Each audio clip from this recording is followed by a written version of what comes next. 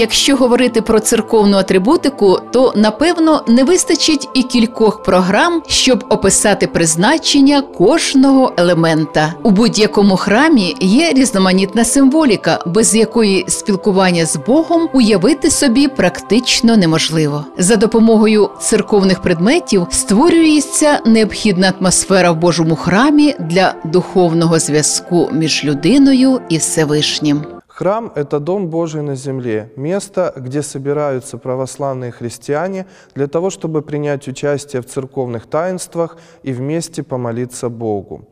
Все то, что существует внутри храма, имеет свою символику. Вся церковная атрибутика говорит нам о том, что Бог присутствует в нашей жизни. Все это призвано возвать наш разум к более возвышенному состоянию, к чувству молитвенного настроения, к тому, чтобы мы отвлеклись от земного и пришли в состояние душевного трепета, а через душевный трепет состояние духовной готовности услышать голос Божий. Поэтому вся атрибутика, крест, священное писание, богослужебные книги, церковные сосуды, хоругви, церковная завеса или так называемая катапитасма, все это призвано возвать нас к духовному настроению.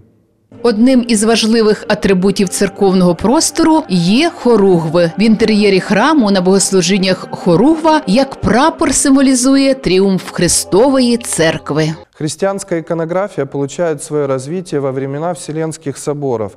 Это еще один из способов познания Бога, так называемое богословие в красках. Иконография помогает церкви украсить не только стены, но и церковную литературу, священное писание, а также знамя церкви – это хоругви. Мы знаем, что практически с XII века на иконах Воскресения Христа в руках воскресшего Спасителя знамя церкви. Это прообраз современной хоругви. В церковной иконописи, также в украинской иконописи, начиная с 17 века, мы видим четкое развитие э, мастерства украшения хоругвий. На этих хоругвах изображены Господь, Божья Матерь, события из жизни церкви. Хоругва увійшла у життя церкви не одразу. Деякі дослідники історії церкви стверджують, що початком використання хоругв можна вважати зародження хресних ходів, тобто урочистих походів до святих місць. Слово «хоругвь» происходит от монгольского и означает «знамя». Это священное знамя воинского формирования.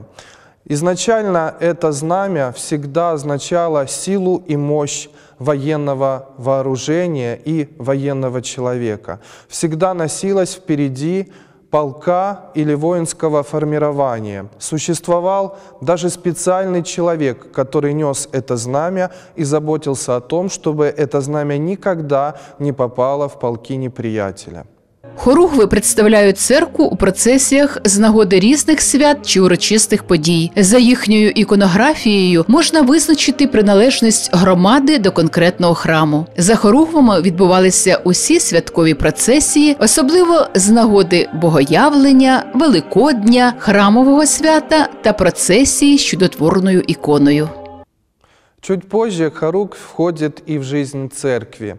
Она употребляется при совершении церковных процессий, встречах патриархов, высоких духовных лиц, а также при особых молениях во времена эпидемий, во времена чумы, а также в тот момент, когда церковь и народ хотели поблагодарить Бога. Церковная хоруг всегда употребляется при э, церковных праздниках. И если мы посмотрим лицом на крестный ход, мы увидим всегда ту хоругвь, которая знаменует определенный храм, ту хоругвь, которая относится к определенной церковной общине. В литургической жизни церкви хоругви употребляются при богослужениях особенно важных и торжественных, таких как Святая Пасха, Воскресение Христова, когда в пасхальную ночь верующие во главе с духовенством выходят из храма и вокруг храма совершают крестный ход. Вот именно тогда во главе святой процессии несут святые хоругви. В современном э, церковном житии также употребляются хоругви. Они бережно сохраняются в церкви и используются при богослужениях. На церковній хоругві обов'язковим є зображення святого, празника чи події зі святого писання. Це єднає хоругву з іконою. Хоругвь относится к типу икон, которые мы можем называть процессионными. Она используется при церковных э, богослужебных крестных ходах. Также хоругвь э, – это изображение Господа, Божьей Матери. На хоругве могут быть изображены особо почитаемые святые церкви или конкретного прихода. Хоругвь – это большое полотнище с изображением конкретного праздника или священного лица, которое водружается на высокая древка, увенчанная крестом. В церкви всегда существует особый человек, которого мы называем хоругвеносец, который использует эту хоругвь во время церковной процессии, крестного хода или молебна. Именно он держит и несет эту хоругвь. З плином часу кожна літургійна річ у церкві набирає богословського значення. Не оминуло це і хоругву. Хоруг всегда в жизни церкви. С древних времен и до нашего времени мы используем этот священный предмет при богослужении и в жизни церкви. Мы берем его в руки и знаменуем этим победу жизни над смертью, победы добра над злом. Мы говорим как будто бы через это, что с помощью Божией каждый человек может победить грех, стать более духовным, более чистым. Также через знамя церкви, через хоругвь мы показываем всему миру, что с нами Бог, Бог в нашей жизни, и мы, как церковь земная, являемся частью Церкви Небесной. Поэтому очень важную роль играет в нашей жизни хоругвь. Это знамя победы над грехом, знамя Христова. Щоразу, коли ми споглядаємо на хоругву, будемо розмірковувати над подією чи особою, яка зображена на ній. Можливо, саме вона допоможе збагнути правдивий шлях до Бога, який чекає на нас кожної миті життя. Не случайно наши православные предки сквозь года и столетия сберегли для нас этот священный символ церкви – хоругви. Будем стараться заглядывать почаще в свое сердце, смотреть и наблюдать, что царит в нашем сердце. И вот глядя на такие священные символы Святой Церкви, как Харугвь, будем понимать, что с нами Бог своей благодатью, человеколюбием. А вот будем ли мы с Богом, это открытый вопрос, который ищет ответа в сердце каждого человека, который себя считает христианином.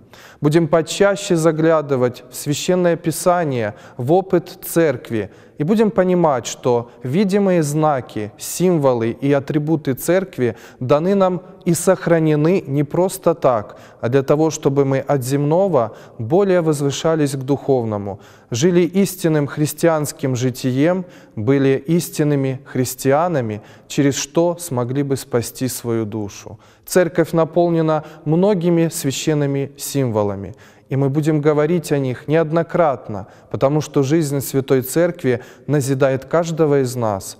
И да поможет нам Бог нести по жизни знамя своего спасения, Святой Крест, при помощи Божьей, нести его честно, правдиво и через этот крест спасти свою душу.